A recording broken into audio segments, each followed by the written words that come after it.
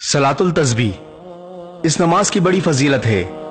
یہ نماز حضرت محمد صلی اللہ علیہ وسلم نے اپنے چچا حضرت عباس رضی اللہ عنہ کو تعلیم فرمائی اور فرمایا، ہو سکے تو روزانہ پڑھو، ورنہ ہر جمعے کو پڑھو یا مہینے میں ایک بار پڑھو یا سال میں ایک مرتبہ پڑھو یا پھر زندگی میں ایک بار ضرور پڑھو۔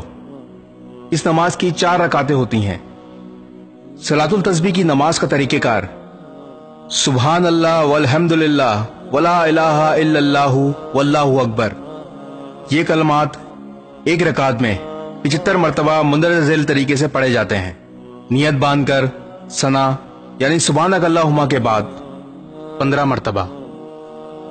سورہ فاتحہ اور کوئی سورت پڑھنے کے بعد دس مرتبہ پڑھیں۔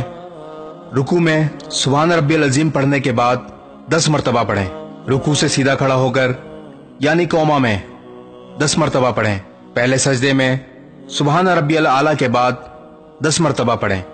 پہلے سجدے سے اٹھ کر جلسے کی حالت میں دس مرتبہ پڑھیں۔ پھر دوسرے سجدے میں سبحان ربی العلیٰ کے بعد دس مرتبہ پڑھیں۔ اسی طرح ایک رکعت میں پچہتر مرتبہ ہوئے۔ پھر دوسری رکعت کے لیے کھڑے ہو جائیں۔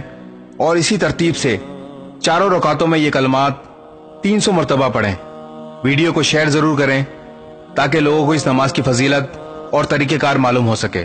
جزاک اللہ۔